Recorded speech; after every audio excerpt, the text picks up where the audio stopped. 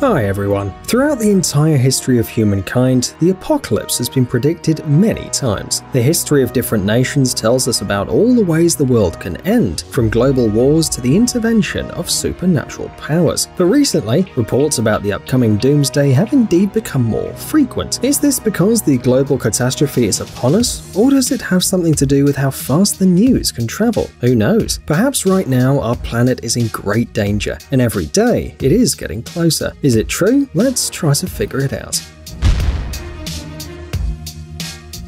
In these difficult times, the entire world seems to be only concerned about the number of people who are infected and recovered. Entire countries are quarantined, the economy is on the verge of collapse. But there's a new problem we didn't quite expect. While humanity is fighting the virus, it turned out that an asteroid is also approaching Earth, and this asteroid might be potentially dangerous. Recently, there have been numerous posts on social media about the coming end of the world. Yes, we are in danger again. An asteroid is approaching Earth, and it can hit the planet in April 2020. NASA warns that a cosmic body several kilometers in diameter will soon strike the Earth. The doomsday is upon us. No wonder that headlines like this quickly spread across the internet, as if we didn't already have enough to worry about. It seems that we just can't get a break. Many even believe that right now, humanity might be on the verge of an extinction, and soon the plots of disaster films will come true.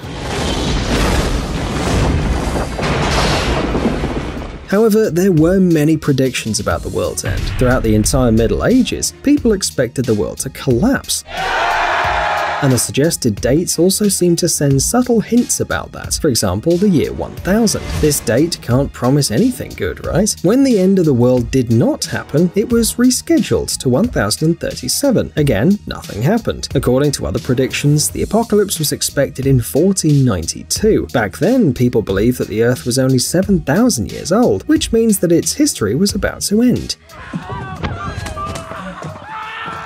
Time was running out, but instead of the end of the world, Columbus discovered America. Because of the conjunction of Jupiter and Saturn, people expected the apocalypse in 1584 and 1604. The next date was 1666, but again, nothing happened. And these are just more or less well-known dates. But can you imagine how many predictions of the apocalypse there are in total? The end of the world was prophesied in 1900, 1967, 2000, and 2011. They were based on predictions of Nostradamus and other seers, obscure calculations, and even someone's words. And of course, we can't forget the famous Mayan calendar, which predicted the end of the world on December the 21st or 23rd in 2012. Back then, many believed the end was near, and even those who laughed at it were even a little scared. What if it really happened? But here we are, and the planet is still fine. But maybe this time the danger is real. To find out the truth, we have to start from the very beginning. So what is up with this asteroid? On April the 29th, 2020, a large asteroid is expected to fly so close to Earth that it can cause serious consequences. According to a different theory, it should hit our planet, and this, of course, will result in a global catastrophe, like the one that caused the mass extinctions, which means that humanity has a slim chance of surviving. There are many articles about about the asteroid in the mass media. For example, the one in the Daily Express is titled Asteroid Warning NASA tracks a 4 kilometer asteroid approach could end civilization if it hits. To get more views on Twitter, the Daily Express added dates so that it would seem that a dangerous collision could happen in April. If you're anxious, and recently there were many reasons for that, you would probably click on the link and read the article, and then you'd start to worry even more. But should we worry about this? We can't do anything about it anyway. No petitions can stop the potential cosmic apocalypse rushing towards us at great speed. But what does humanity know about this asteroid?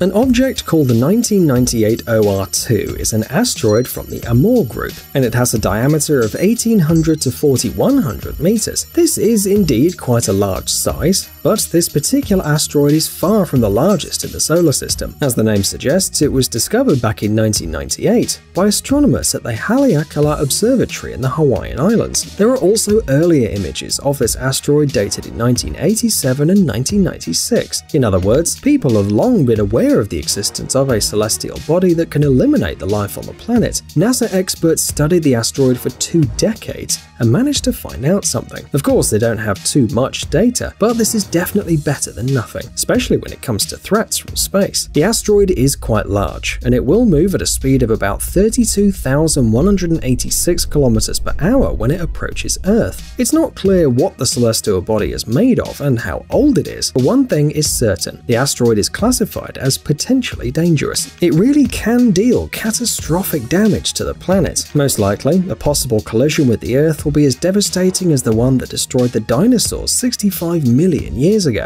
The impact of an asteroid would kill millions of people, not to mention animals, birds, fish, and various other organisms. The ecosystem will also be destroyed because the plants will die. The impact will stir the dangerous processes inside the planet too, which means that we should expect natural disasters like earthquakes and volcanic eruptions. And don't forget about tsunamis. As a result, the climate will also change, and most likely for many centuries and even millennia, life on Earth would be impossible. Surviving people may not be able to repopulate the planet, and after millions of years, another species will become the dominant ones on Earth. But don't rush to look for bunkers to hide in.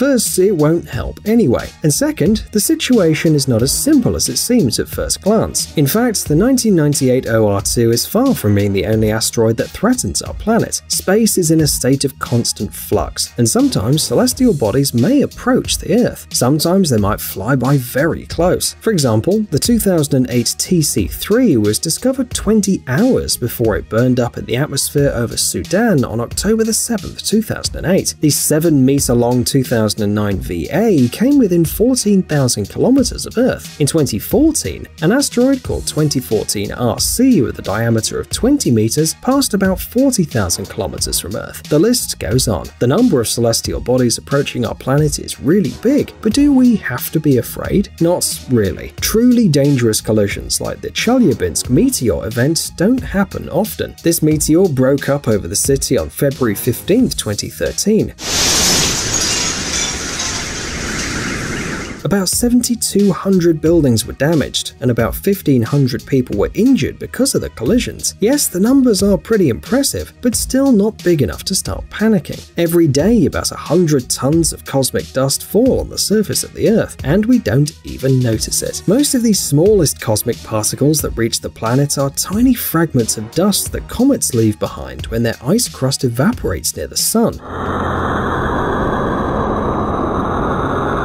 The larger particles that fall on Earth are fragments of asteroid collisions that occurred centuries ago. These particles simply fly in space until one day they end up a bit too close to a planet. Don't forget that the vast majority of space bodies that reach the Earth simply burn up in the atmosphere before scientists, let alone ordinary people, even have time to detect them. Perhaps even right now, a particle of cosmic dust older than our planet is falling somewhere near you. But back to the asteroid 1998 OR2. No matter how the media tries to create a panic, in real life the situation is not as frightening. Since scientists observe many celestial bodies, the future orbit of each potentially dangerous asteroid is carefully calculated. For example, the orbit of the 1998 OR2 was calculated up to 2197. In April 2020, it will fly by the Earth at a distance of 6.3 million kilometers, which is more than 16 times the average distance between Earth and the Moon. So, not so close if you think about it it. After all, we don't need to worry that the Earth will suddenly collide with the Moon, right?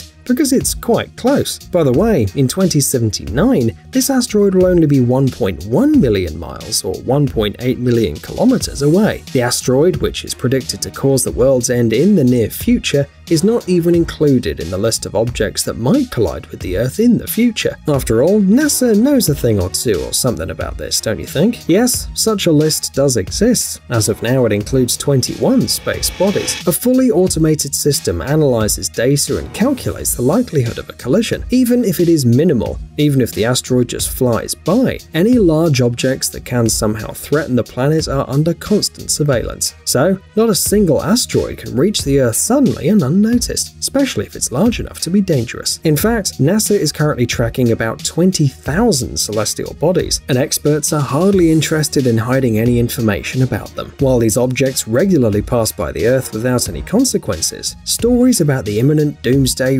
regularly appear in the media. By the way, if journalists and other fans of creating panic sentiment studied NASA's work more carefully, they could announce the apocalypse even more often. In this case, we definitely stop trusting them. However, they will always be gullible people, despite the fact that not a single prediction of the world's end ever came true. We hope they never will.